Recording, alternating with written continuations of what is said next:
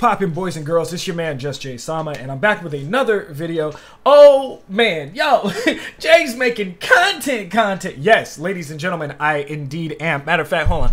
Let me bring this microphone closer so y'all know it's legitimately me. What's popping? So today we are talking about the return of the boy, okay? The young man himself. Tom Holland is coming back as Spider Man and Peter Parker in Marvel's MCU. Now, check this out. I know there's been a lot of outrage, and I would have made a, video originally on why he was leaving and everything like that, but um, it wasn't necessarily necessary at the time. So essentially, what has happened now is, according to Variety, uh, I, I guess there's still technically a magazine, according to Variety Online. Uh, they did an interview with Kevin Feige where he confirmed that Sony has indeed brokered a deal with Marvel Studios. So originally, what had happened was uh, Sony and Marvel were splitting I basically like Sony was producing a lot of these and they were like putting up all the money for it while Kevin Feige and the staff over at the MCU were running the actual movies, which are great. Not saying Sony can't successfully make a Spider-Man movie because uh, they've proven it only a few times and like as I have to say, the best Spider-Man movie yet is Into the Spider-Verse. Like, and that's a Sony movie. So I like the fact that they can make that, but that's their animation department and whoever wrote that and the screenplay and all that other stuff goes into the factor doesn't necessarily translate over to their live action and Columbia Pictures and like them doing all that stuff. You know what I mean? Like the two sections are different. So here on uh, Variety's page, they actually talk about it right here. Hold on, let me see. Uh, the new deal was set for late Thursday night, which was yesterday. Negotiations involved all the top players from both studios, blah, blah, blah, blah, blah. Originally, they were uh, Feige wanted to split everything. Well, not just Feige, but Disney themselves wanted to split everything 50 50. But Sony was like, nah, we're putting up the money for this. We deserve the box office. So now it's looking like uh, they both are roughly going to receive 25%. Um, Marvel and Disney will receive roughly 25% of the profits according to insiders. So that's according to insiders, but you know, all obviously a lot of this stuff could be fabricated, maybe a little more, a little less. So we can only take it with a grain of salt. But what we do have here is a quote from Kevin Feige himself. I am thrilled that Spider-Man's that Spidey's journey into the MCU will continue and I and all of us at Marvel Studios are very excited that we will keep working on it. And I am just you know what? I'm through the moon excited about this because Spider-Man is one of my all-time favorite superheroes like as far as like in general. so not just Marvel, but seeing them finally come to this deal is just amazing because previously Kevin Feige had said that it was just a miracle that the deal happened in the first place. Never in the history of ever have, have two powerhouse studios, and yes, Sony is considered a powerhouse studio, work together to do something like this. So he was saying the one in a million shot that we had to even get Spider Man for as long as we've had him was nothing but a miracle. And you know what? Kevin Feige, salute to you, my guy thank you so much. We really, really, really appreciate you in the in like the fandom. You know, not just um, filmmakers and aspiring actors and you know any any potential people like that, but fans and people who enjoy watching movies. We all thank you very much, and thank you Sony to actually playing ball. Like we understand that uh, at least I do. I understand that this is a situation where it's like, no, it has to be mostly beneficial on our part because if the MCU wants to continue, they need our property. So a lot of people were really like throwing shots at Sony at first until all of the logistics came out and it was Disney who was like trying to get greedy and all this other stuff, which is great.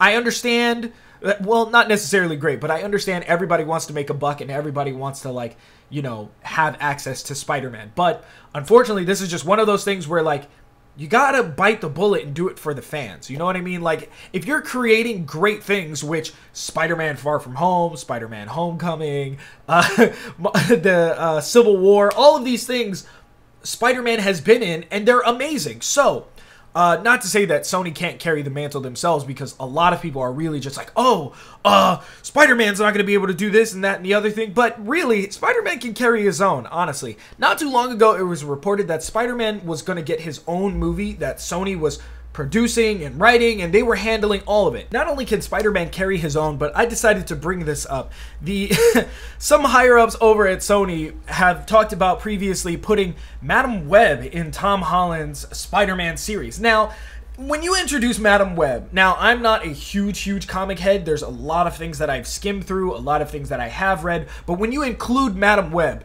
there's most likely some other Spider-Man that are included. So I don't know if this Spider-Man deal is going to kind of mix a bunch of the Spider-Verse stuff Sony had going because I know with Venom and Tom Holland like trying to, you know, well, Tom Hardy and Tom Holland being in the same movie was definitely a possibility on Sony's end, which I was very, very excited to see because when you see two completely tone different things cross with each other like that, I'm sure Sony was going to either one of two things blow it up really really bad or it was going to be really really amazing so um, i really really had faith in that and also i had faith in the absolute possibility that we could be getting a potential actual live action Spider Verse. We're talking Peter Parker with Tobey Maguire. We're talking Andrew Garfield. We're talking a possible Miles Morales casting and Tom Holland. And they're, let's say, I don't know, in the kind of Venom universe.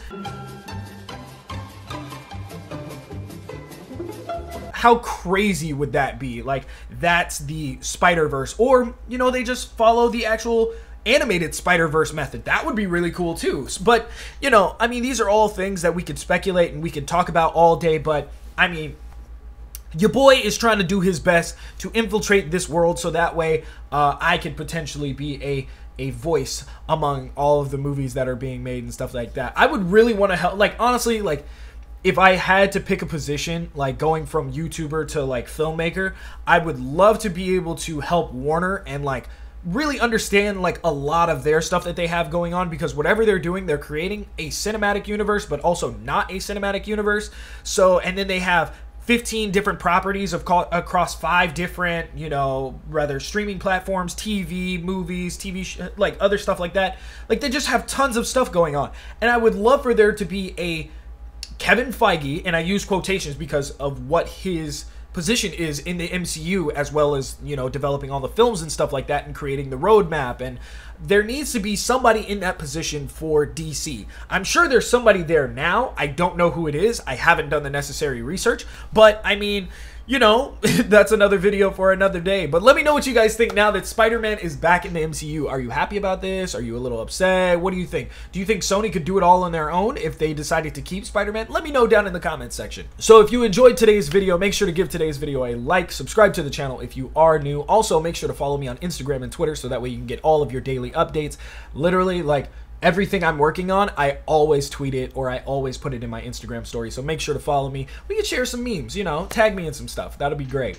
Also, if you're looking to become a sponsor for the channel, scroll down. There's a link in the description specifically for that. You can actually uh, support the channel so much, so much more. Uh, and you also can submit your own video ideas, have you in live streams, stuff like that. And we're going to be doing a Q&A later on this year. Uh, so hopefully we can hit 10K by the end of the year. I'm really, really excited to do that. Um, also, if you got, any of you guys are going to LA Comic Con, make sure to uh, hit me up on social media, Instagram, Twitter, whatever you can find me on uh, and tell me what's up. Like, yo, we'll get together, we'll hang out, we'll, you know, uh, I, I don't, I don't really know. I've never really done like a convention like meetup or anything like that. But now that I'm trying to go to more things, um, unfortunately, I'm not going to TwitchCon, but I am going to LA Comic Con. So if you guys are in LA at the time, I think it's in October something. Yeah, if you guys are in LA and you want to meet up, that would be really dope. So uh, let's get something started, you guys. Anyway, this has been your boy Just Jay Sama. I'll see you guys next time. Make sure to keep it canon.